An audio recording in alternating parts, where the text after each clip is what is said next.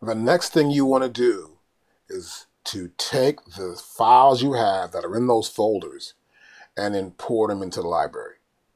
This way, Maschine will see them all the time. They'll say, okay, you open Maschine up, we're looking for all the sounds that belong to the library. Okay, we got it. It's ready for you whenever you need it. So for example, I'll go to here and I'm right clicking. I can't add to favorites. I can't import to library because this is a separate sound, a separate file. Let's go back up one level here. I go back up one level and now I'm at the folder. I right click here and now I can add it to favorites. I can also import to the library. Now if I go to import to library, I have the ability now to tell Maschine what I want to categorize it as a type. You know, and I got everything here. Look at this. I've got everything I need right here. I can say loops. And there's loops. Okay, I'll say it's loops. Oh, we got more stuff. These are just drum loops. Oh, I like that.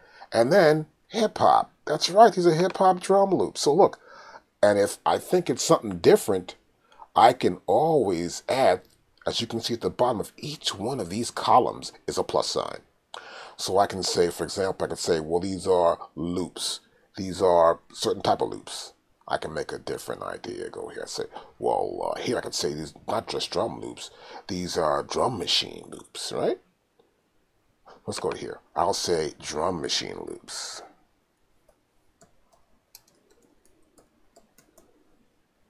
All right?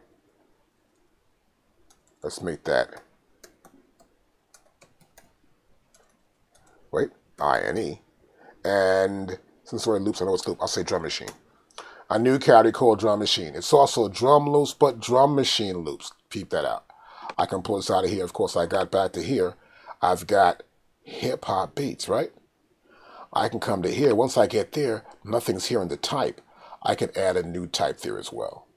And this is to get you familiar with and make it easier for you to categorize, set types up for the samples or the sounds you want to import into your Maschine library.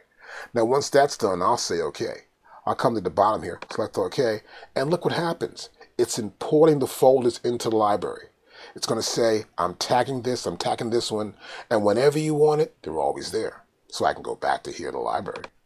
I can go right here I'm at, right? And we got loops. I can say we got samples right there. We got loops. Oops, there they go. We got some loops. And the loops are right there. Let's turn this up a little bit. We can hear it better. Oh, yeah. You got it right there.